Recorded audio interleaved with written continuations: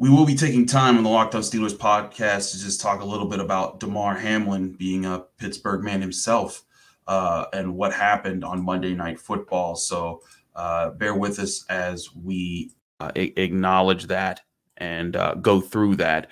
Uh, but we will talk about that and our grades for the Steelers Ravens game um, because we will keeping up with the Locked On Steelers podcast. But we're going to make sure we do talk about Damar Hamlin and the serious situation that that is there uh, for the former Pitt Panther and Pittsburgh man himself. Uh, but we talk about that a lot more right here in the Locked On Steelers podcast. I'm Chris Carter here with Alan Saunders of Pittsburgh of SteelersNow.com. Let's get into it. You are Locked On Steelers, your daily Pittsburgh Steelers podcast, part of the Locked On Podcast Network. Your team every day.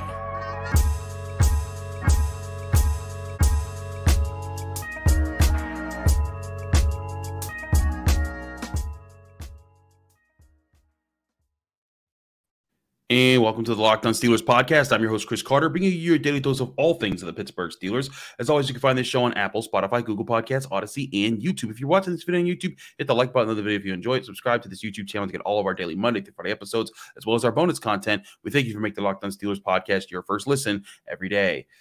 Today's episode is brought to you by Prize Picks. Prize Picks has is the best place for you to go for daily fantasy because it's daily fantasy made is easy. Just pick two to five players, and if they score more or less than their Prize Picks projection, you can up to ten times your money on any entry. First time you just receive a 100% instant deposit match up to $100 with promo code Locked On. That's L O C K E D O N Locked On, all capital letters, all one word. And again, that's PrizePicks.com promo code Locked On. Joining me, as I said earlier, is uh, Alan Saunders returning to the show. Thank you, Alan, for taking time to do this. We're doing this a bit late because of the Damar Hamlin situation, um, and I, I I feel like it would be a mistake to not talk about that situation right now. When if you were watching Monday Night Football, as many people I'm sure, sure were across the country, millions even, uh, with how important that that game was for the and how excited everyone was to see those two teams play, and then if you just saw Damar Hamlin collapse on the field, not know what's going on. And I, we're not going to get into what the we're, we're not, nothing we tell you here is going to be anything that we've learned about medical situations or anything like that. That's stuff for people that are in Cincinnati that are handling it, that are doctors or people that are talking to the doctors that are there get that information somewhere else. But we will talk to you. And what, I, what do I talk to Alan about is because Damar Hamlin's someone that both of us have covered as he was a captain at Pitt for Pitt football. He was a superstar safety at Central Catholic High School here in Pittsburgh. Um, and uh, he uh, he was a, he was a leader and he was a person that if you got to cover him, you knew how special he was on and off the field. Alan, I just wanted to uh, let you talk about your thoughts about about Damar and how you've known him to be. Yeah, I mean, I think um, first of all, I just want to say personally, you know, um, can't can't stop thinking about Damar's family, yeah, uh, Nina and Mario, and and uh, they're they're good people. He's he's good people. He um, you know, just a a great kid, a great down to earth family. Yeah. Um, you know, was never you know like uh, the funny thing about Damar is you know he was a um, you know, he was a really highly recruited player coming out of high school. He probably could have gone to 20, 30 schools. A lot of places. And um, you never like got that like I'm a big time athlete sense from talking about him. He's just a, a mm-hmm. regular guy, very hard worker. I was sharing some thoughts on Twitter a little while ago just about his journey to the NFL and how uh, he really faced a lot of adversity. Like there was a lot of struggle. He was supposed to be a corner. He got hurt, had a bunch of surgeries, moved to safety. Um, you know, and, and like it wasn't this like oh yeah like here he is like big four you know, big four star athlete goes to Pitt becomes a mm-hmm. star. You know like it, it, was never this sort of assured thing with him. He, he always worked for everything he got. Um, talked to him last off season uh, at a football camp in the area and, and he was always very enthusiastic about you know coming back and, and giving back to the community and um, just uh, the kind of person that you would want um, that you would want uh, to, to be a role model for your kid or you would want uh, you know your, your your daughter to date you know that that that kind of guy? I think that's um, that's what i think of when i think of damar hamlin and obviously a very talented football player mm-hmm. and uh, starting as a rookie uh, after being um, se- i'm sorry as a second round year player after being a sixth round draft pick i think shows kind of what he's all about. Yeah, absolutely. I mean when he was at pitt and mike tomlin talked about um about talked about this a while back too with uh when they drafted Kenny Pickett. He talked about how you know Kenny Pickett and Damar Hamlin brought the team together when they were leaders at, at the University of Pittsburgh. And um, you know when we go and we sit in the uh, the conference room to do Pat Narduzzi press conferences, uh, one of the pictures that's up there that's pretty big is Damar Hamlin leading Pitt onto the field doing the jungle as he did so many times uh, for uh, Pitt football over the years. Um, again, we're not going to offer any information that we that's you know from what we know he was taken to the hospital. Uh, it was rumored that he was it was said that you know he's he was in critical condition that he was struggling to breathe. There will be updates about that all across uh, news as that comes out. But uh, here on the Locked On Steelers podcast, we wanted to just kind of take our time to offer our thoughts, our condolences, and our prayers to the Hamlin family and to um, to them, to them especially, uh, but also just uh, you know putting it out there that if there's anyone else there that, that knows Damar, that is where we are think we're thinking of you, we're thinking of him, um, and you know just in this time, you know, hearing hearing this from a person that we've known, it's just an awesome person. We wanted to, I felt like it would be worth our time and your time if you're a listener or viewer to um, learn more about the young man who who was out there who we are praying over. He's not just another athlete out there, not that anyone is, but this guy is legit. Like all the nice things you're gonna you're gonna hear about him as people continue to check up on his status, all the charity work he did, all the nice things. This this is not hyperbole. This isn't just you know talking up a guy whose life is in a very rough state right now. It's talking about a real person who cared about other people, and when you talk to him, it was very clear that he was much bigger than a game of football. Yeah, and you see the reaction from the I mean, obviously, this is a podcast about the Pittsburgh Steelers. Go look at the, the Twitter feed of the the current players. You know, yeah, just you know, obviously, guys like Kenny Pickett, who was a teammate of Damar's and and at Pitt, and and as you know, very close to him. But throughout the locker room, I think you can tell that this is something that, if you care about the game of football and you participate in the game of football, um, you have a bond. And and when you see something like this, uh, I think it affects all of us, uh, player, coach journalist, you know, uh, whether you knew Damar closely or you saw him in the hallway uh, or, or, maybe didn't, didn't, know him at all. I think uh, this is going to be um, on the minds of every person who's putting on pads uh, for practice this week for sure. Absolutely. Again, our, our, our, thoughts and our prayers go out to uh, Damar Hamlin, if his family and any any of his loved ones. Um, do do go look and find uh, his charity uh, where they where they raise money to donate toys uh, to kids in the in, in the community. Um, uh, it's uh, it's it's amazing how much money it just it just eclipsed a million dollars, and their goal was twenty five hundred dollars. Uh, so uh, amazing humanity sometimes from the world when they see and they want to help in any way they can, even when there's nothing that they can do other than just put out the good thoughts and prayers for Damar Hamlin. All that being said, um, that's the situation. We wanted to give you our insight there. We are going to talk Steelers here, so if you've waited patiently through that and you just you, you're you're kind of like, hey, thanks for that, but I'd like to hear some Steelers news. We got you. We're going to talk our grades, stars and skulls, right here on the Locked On Steelers podcast in just a minute. So stick with us as we as we do that. But first, we got to talk to you guys about one of our great sponsors, and that's Prize Picks. Prize Picks, of course, is daily fantasy made easy. If you're big, big into daily fantasy sports, this is a way to get get your fix really quickly because all you do is pick two to five players.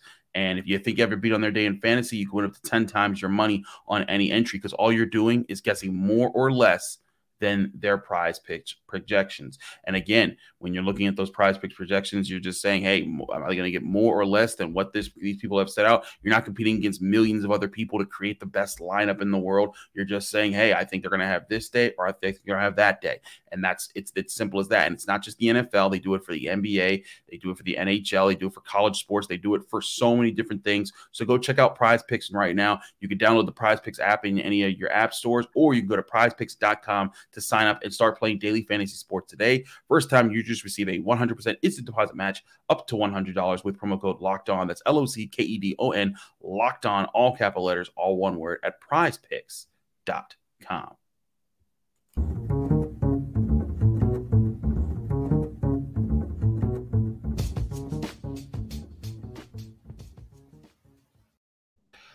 Back here on the Locked On Steelers podcast, I'm Chris Carter. He's Alan Saunders. Let's get to our grades of the Steelers' 16 to 13 win over the Ravens. Before we get into that, Alan, you were you were there on hand in Baltimore, correct? Yep. Yep. What was the crowd like there when the Chris, Steelers? you know I was on hand in Baltimore because I could barely hear you talking to me on the Steelers. That was that, yeah. I, I was I was saying that to confirm for our audience, but yeah, we did a. He, Alan and I did the pregame show, and he was at the stadium, and like the band was playing, and we were talking to him, and he couldn't. It was really funny if you were watching it live.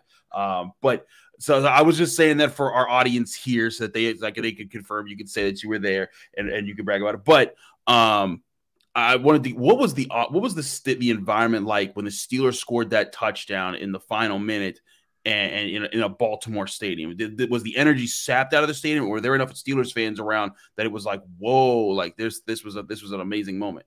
it was um you know it was like it- it's kind of hard to explain because like it, it's it, it wasn't really like a lot of a lot of those that I've experienced. You know, sometimes when it's like that overwhelming home crowd, like you can just kind of hear a pin drop. Like think back to like a Pitt beating Clemson, you know, when there were like eighty thousand people and then like nobody. Um, and sometimes you're in those like 50-50 games where the you know it's, um, and covering the Steelers, you get a lot of those, right? Where there's you know, and and it's kind of loud no matter what happens. Uh, the thing that was interesting to me was that like there was a, there were a number of Steelers fans there, um, but it, it was like it was it, didn't get quiet. It got like rabbly, right? Mm. Like like like some people sometimes think people lose. It's just like oh. And then, you know, like you saw Najee Harris like getting into it with the fans. He was down Yeah. yeah. just after he scored. You know, like the fans are yelling at him and pointing and you know, and he was giving it right back to him, which I, I thought was kind of fun. But like it was, it was like this like ang- there was it was a- some anger. I thought that there was some kind of let out in that in that room at that moment uh, when that happened, and I think that's that's kind of what the Steelers Rav- Ravens rivalry is. So well, you could hear some Steelers fans, but it wasn't.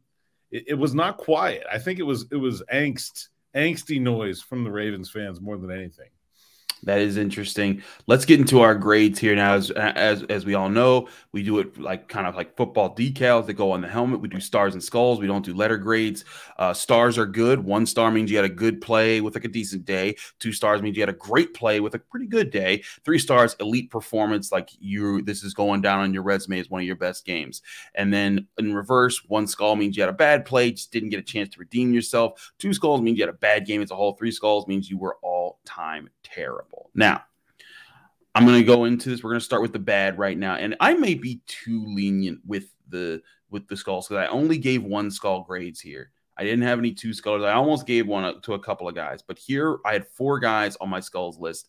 I had Chris Boswell for another missed field goal. Chukwuma Okorafor I felt was the one offensive lineman who got whooped the most in this game. Granted, he also the, the offensive line dominated a lot of this game, so I didn't want. I was like, I can't punish him too much, but I still got to acknowledge how he how poorly he played. Devin Bush, I know he only played five snaps, but the fact that you had your plays taken by seventh round pick Mark Robinson, and then like one of the few plays you were out there, you got beat for a pass uh, over the middle where you were supposed to be helping. I felt like that was rough on him, and then Arthur Maulet giving up the touchdown uh, in this in the late in the second quarter. Uh, and not really, ha- I felt he didn't have his redemption moment. Um, I felt like those were the biggest skulls there. Am I missing anyone on this list that sh- that, that sh- or anyone that's not on this list that should be getting a skull from this game out?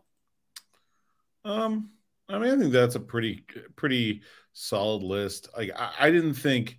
I really think you can kind of lump Devin Bush in with everybody else who was assigned to cover Mark Andrews. If you want to put Terrell This Edmunds in that bunch, uh, I might be willing to do that. Um, I like they just. It was very clear that the Ravens had exactly one guy they were willing to throw the ball to, and it was him. And the Steelers still couldn't cover him. Um, so I, I think there's some fair criticism there.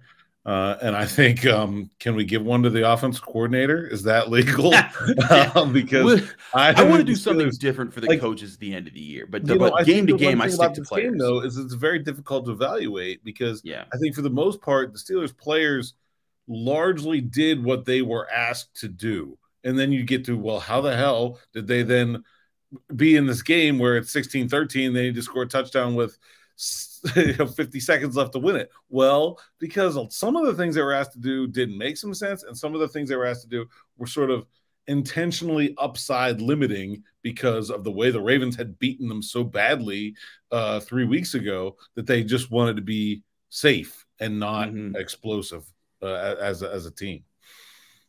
No, I feel you on that. And, and, this was like, uh, as anyone knows, I've been a person who, who, who's like, I'm not rushing to blame Matt Canada for ev- everything under the sun. And there were certain things that people were like, oh, this was a dumb play call. And I'm like, that's not my problem. My problem was when the run game was working and you had the Ravens starting to sell out to stop it. And I get that you're pounding them and you're pounding them and you're pounding them, but there were so many times like, man, just call play action. Just give yourself a chance to get get a chunk here that, that that could that could get you on the board, you know. And then when they kept getting into the red zone and failing, I was just like, man, like I just I didn't like some of the some of the sequencing that we saw that we were seeing out of. And that's my biggest complaint. Everyone's gonna say it's you know it's oh he doesn't call plays over the middle. There's guys that run over the middle you know, I think it's it George Pickens is wide open over the middle uh, on one play in that game. Yeah, I mean, uh, when when Kenny Pickett got sacked, yeah, I was yeah. I, like people were like, oh, it's a dumb play call. I'm like, y'all, like George Pickens is open. That's just that's just a play that Kenny got to Kenny got to make there. It, that's not the problem. But to me,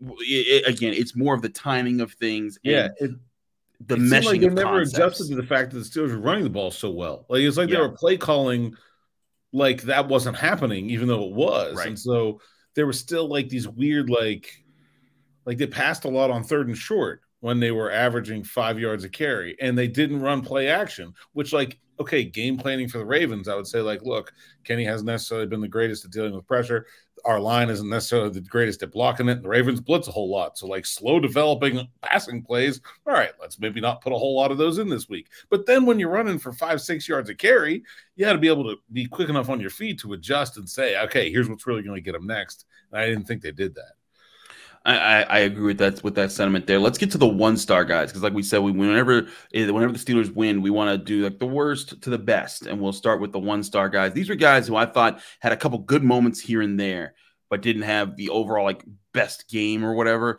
Gunnar Olszewski, simply because of that block that he threw. Uh, to, on the on the jet sweep to Jaylen Warren, took out two guys, and I was like, I, I, love seeing wide receivers block. I grew up watching Hines Ward, man. So whenever I see someone do that, I'm like, ooh, you you earn you earned some props with me. Um, I also put Mason Cole in there. There were a couple plays he I thought he got whipped Alan, but by and large, the Steelers' offensive line dominated. And you can't do that without your center. Um, so he gets a star in there. George Pickens didn't win a one on one in the end zone, did step out of bounds in the play, but made on one of his amazing catches over the middle. That's why I gave him the star. I felt like he not only redeemed it, he earned a star with that. Steven Sims, though, that catch over the middle and that throw from Kenny Pickett, we'll get into where his stars were in a bit here, but um, Steven Sims, Alan, Alan I, I thought it, eh, we'll, we'll, I want to pause through the reading these names here. I thought Steven Sims that catch that was that's one of those catches that like you gonna stick around type of catches uh, to see. So we're gonna bring you back to next year's training camp and see how you keep growing. Yeah, I think I think Sims. You know, I was literally watching that play and I'm like, hey, I think this is a good place for a deep shot. and then and then saw where it was going. I was like, Hey, to that guy? Oh, okay. yeah, like, I, I, yeah, I will have to. I will admit uh, that I wasn't I thought it was a good place for a deep shot. And then I saw Steven Sims bracketed, and I'm like, maybe not that one. Okay, never mind. I was wrong. That was great. Um, you know, it, it, was a great play, great throw by Kenny. That's probably, I think that might be the most difficult throw uh, we've seen him complete so far. Absolutely, um, that, that was incredible.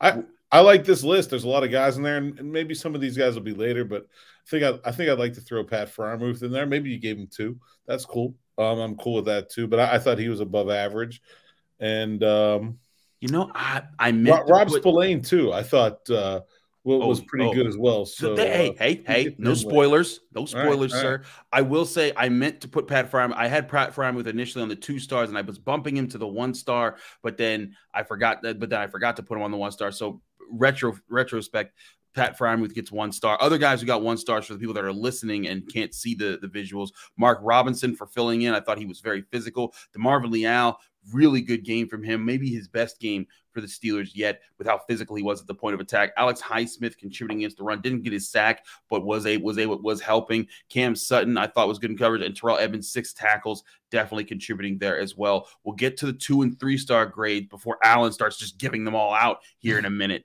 Uh, on the Locked On Steelers podcast. No bus ticket grades, by the way, uh, this, this week, like I had with Marcus Allen a couple weeks ago. Though some, did we ever find out which player it was that went onto the field for the Steelers on the on their interception celebration or whatever? No, I did not. I still haven't either.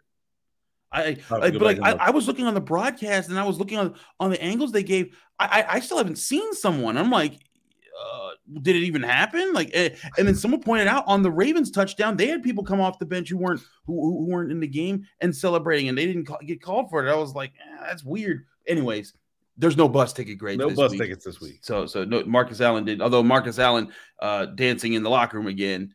It's, it's what I'm he does. With that, I see. I yeah, because that, no, no penalties come from that. No penalties in the locker room. It's fine. It, indeed. We'll get into the two and three star grades in just a minute here on the Locked On Steelers podcast. So don't go anywhere. But first, we got to talk to you guys about betonline.net. BetOnline is your number one source for all your betting stats and sports information. Find all the latest news, developments, and sports reviews right there on BetOnline. And that includes the NFL as you get ready for the playoffs, all the scenarios, all the odds, all the ends you can find at Bet Online. They also do NBA, NHL, college sports, and all sports out there. Go to Bet Online, your continued source for all your, your betting stats, sports wagering information, live betting, playoffs, esports, and more. Head to the website today or use your mobile device to learn more about the trends of the action when you visit Bet Online, where the game starts.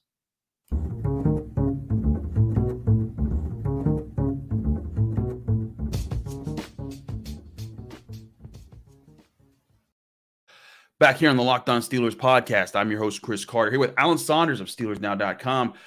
Alan, let's talk about some more of these grades here. Let's get to the two star grades. And I, I think I'm going to get some pushback on, on one two star grade here that I think some people really want a three star for, but I'll explain why. Okay. And it's the person at the top of the list, Kenny Pickett, is a two star. I didn't give him three stars. Why? Because of why I didn't. He still hasn't put together the complete game for me. I thought he did what was needed to be done late in the game and with some very clutch throws, and he didn't turn the ball over. For that, he gets two stars. But you get a three star, to me, you got it. Like if he had thrown for two touchdowns and like 250 yards against this defense, and as a rookie, I, I would have then, then I would have consi- con- considered it there. But am I being am I being too cautious? Am I being too stingy with the stars here on Kenny Pickett's day? No, no, I think you're dead on. Okay, um, you. you. know, I, I think this is the se- you know this is the second week in a row. I think you can say Kenny Pickett was really pretty average until the last drive of the game, maybe even below average. Um, now, again, like we talked about the coordinator, I don't think he was really asked to do like a ton before that in this yeah. game. Um, but like the second to last drive, he was, and then he, it didn't go so well, right? And then the last drive went great. So you know, I don't know, like, but I think you know it, it's it's awesome. It's it's incredible to see uh, Kenny have the success he's had late in games. I also think, as someone that is very familiar with Kenny's game, like it doesn't surprise me either. Like I think so, you right. know, to to some extent, like. It, mean, maybe this isn't necessarily the fairest thing to him, but it's kind of baked into my expectations. Like that's who that guy is. Like I'm, I'm, I'm surprised by the throw to Steven Sims. Okay, that was yeah, impressive. That was a okay. that was the throw of the night I'm, for me. I'm impressed by the two big plays yeah. he made, rolling to his left, which he's yeah. not always been the best at, throwing on the run, rolling to his left. The Najee Harris touchdown he won earlier in the game. I think it was the Pat Freiermuth. Um, not, not exactly sure. Yeah, no, but, it was Pat. Um, yes, two of those plays where he's running to his left, and I'm like, okay, that's something I haven't seen a lot of. That impresses me. Kenny Pickett being tough as nails, completely unflappable under pressure, and leading his team to victory in the last minute. Like, I don't know, I've seen that a whole bunch. Like, it doesn't jump off the page for me like some of this other stuff has. That's who he is. That's the guy you drafted. Now, if the guy you drafted suddenly shows more arm talent than you thought he had, oh, now he may be onto something. But like, I knew Kenny Pickett was going to go down to the wire, gunslinging every single time he got an opportunity to will his team to victory. And I'm very happy for him and for the team that he's shown that, that he's going to continue to do that. But, um, you know, I think the, the first three quarters of this game, he probably is not going to have like a great time watching the tape of. Like, it's not, it, it, it was not an exciting evening for him until that last drive. It, it wasn't. So again, that's why I know some Steelers fans are gonna be out there. Well, you are dissing Kenny. I'm like, listen, listen, listen.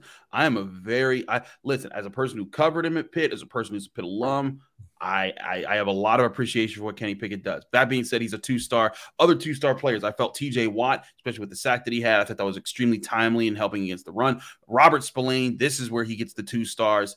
Um, he's been playing better of, of late and really stepping in there. I thought that he deserved it. Both Cam Heyward and Larry Ogunjobi as tone setters on the on, on the defensive line. I thought they changed the line of scrimmage a lot, really helped against the run. And then two offensive linemen get two stars here: James Daniels, Dan Moore Jr. I felt like both of them were really helpful in pushing the line and giving Najee Harris the space that he needed there. Uh, Alan, anyone that I awarded too much love to here on the list? No, I don't. I don't think so. I think that's a pretty solid list. I, I want to talk about TJ. I thought uh, this was his. I thought this was his best game against the run since he came back from his injury. Mm, I thought I he was he was very good against the run in this game, um, and that really was what they needed him to be.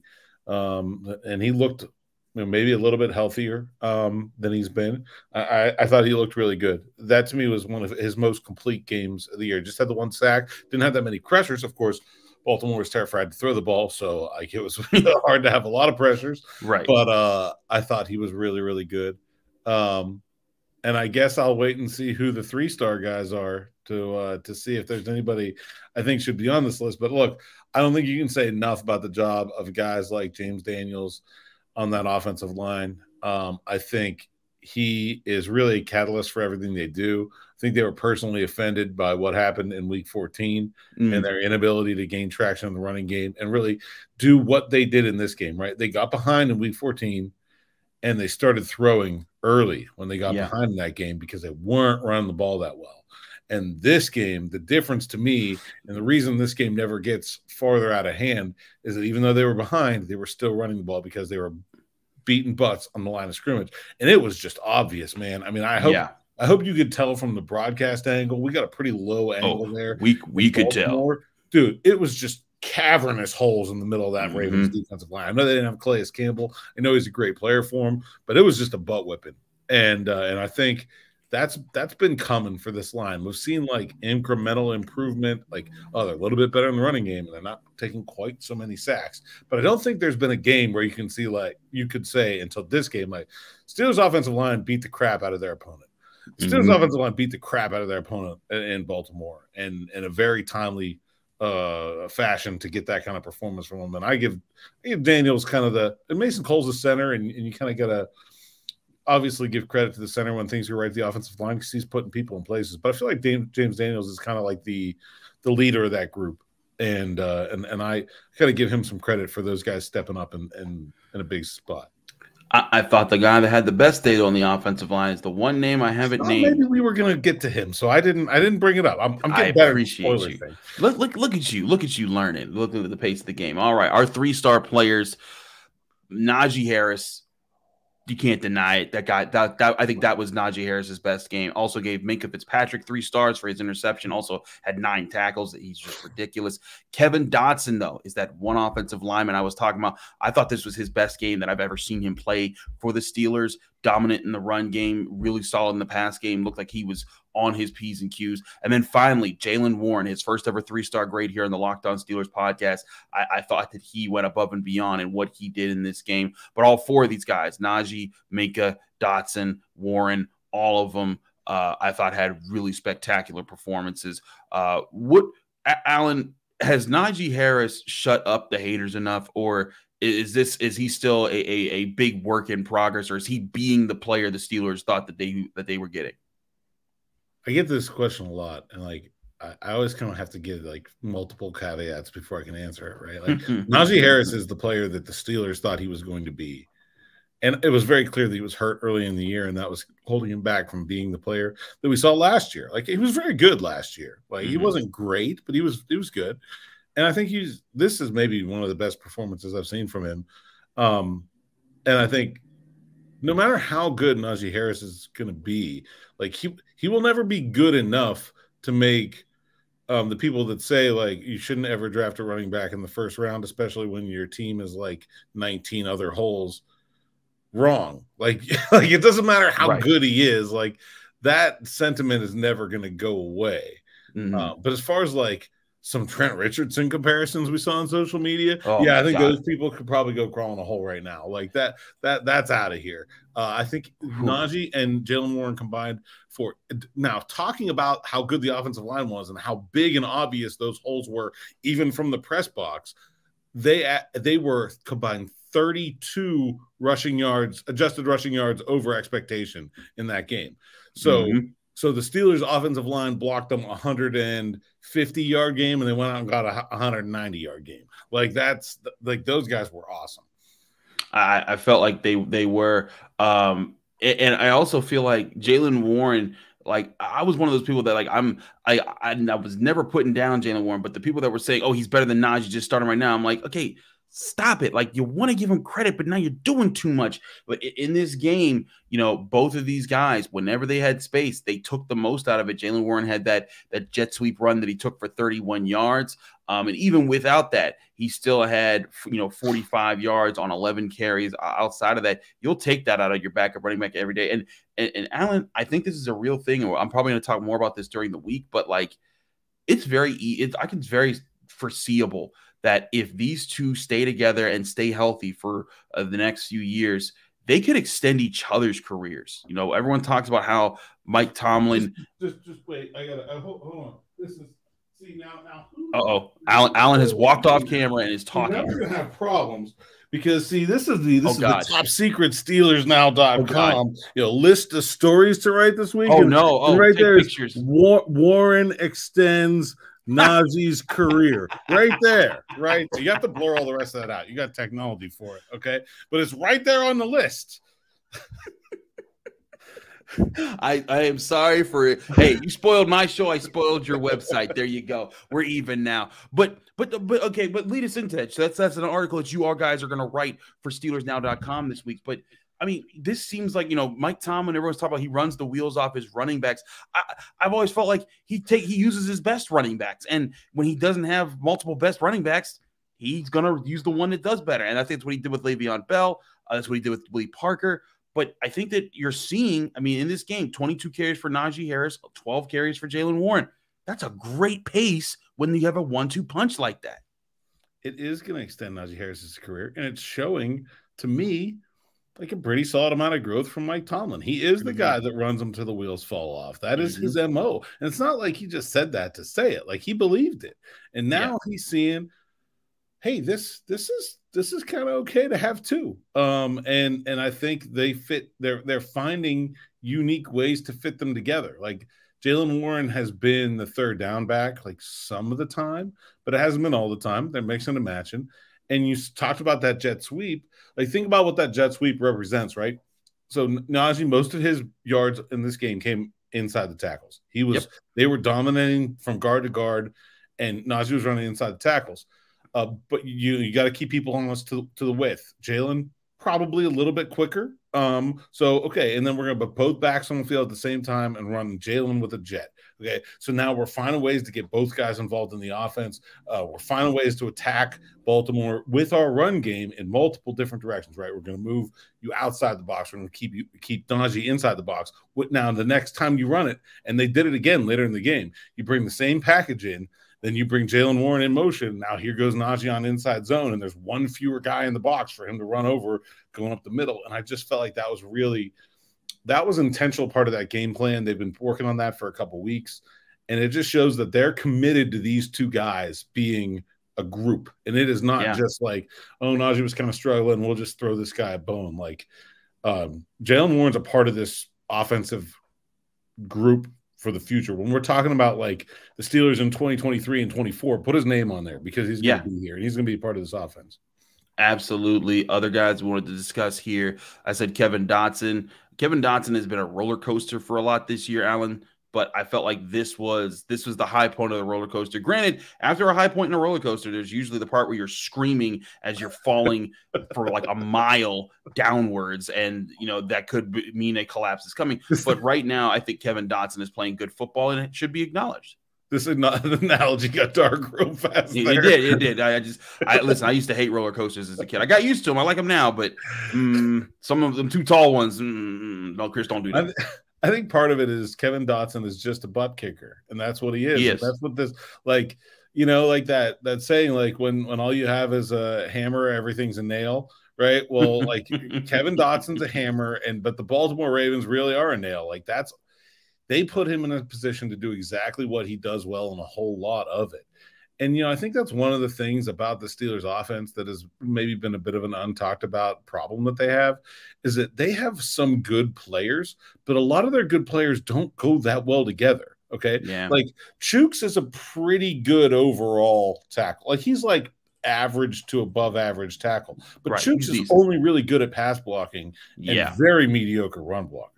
Now, Kevin Dotson has been probably like a little bit below average left guard, but if you just let him fire off the ball and tandem block the D tackle and start climbing to the next level and and and mauling people, he's very good at that. Um, but they can't run to maximize dot all the time because then that because then you get Chuks on the skull list, right? And then you can't do it the other way because then Dotson has a bad game. They don't have like the personnel that matches. But I, it is important though, and and we could talk about this at linebacker too. Like when they have games that require a certain style of play, they have the ability to go to a guy like Dotson and say, okay. Here's what it is. We need to run the ball 50 times to beat the Ravens. Go kick some butt. Let's go. And, and so um, I think it's a really strong sign for that line that they were able to do that. And uh, but it is one of the like that roller coaster is because they don't fit together that well. I, I agree. They don't. Uh, I just um, I apologize if it came off if, it did get a little dark there. With I just I have some bad memories of roller coasters that I thought I could handle, and I was just like, nope, nope, nope, nope, nope, nope, can't do this. We're Um, but- screaming, we're falling. Where am I? No. where am I? yeah i'm just falling. but but, but i'll again i'll say this kevin dotson three three stars amazing performance from him I, i'm intrigued to see if he can keep it up and then of course the last guy was Minkah fitzpatrick another interception his sixth of the year um, and just continues to come up in big ways and still was contributing with tackling uh, and i also wanted to get your thoughts on, on this alan from I, I'm not sure if you can see it from the booth, but you might have seen it on the broadcast when after Cam Heyward's penalty and the Ravens scored the touchdown, there was frustration on the Steelers sideline, and Minkah kind of barked at Cam Heyward, and Cam Heyward barked back, and there was a bit of back and forth. But all that was put aside, and they, this defense came together to put together another dominant second half. And I believe you had an amazing third quarter stat about what the Steelers have done. Yeah, 12 points total in their last three second halves, um, which is that's bonkers. And That's uh, each of the last two games have ended with four consecutive defensive stops. Minkah Fitzpatrick has ended two games with a, with an interception. He uh, broke up a pass on the last offensive play for the Colts in Indianapolis Jeez. and he blocked the extra point to send the game to Cincinnati. Like they're closers. I tried Yeah. to talk to the guys on the defense about this because I wanted to write about so this is over here too. Um, but but they won't give up the goods. But I, I got to figure out what's going on at halftime with that defense, man. They are figuring it out as games go on. That they are adjusting. They're everything we we talked earlier about the offense didn't do. They didn't adjust to what was going right for them and change their play calling style to to you know, deal with the facts that were happening on the ground. Steelers defense is doing that, and they're doing it really, really well.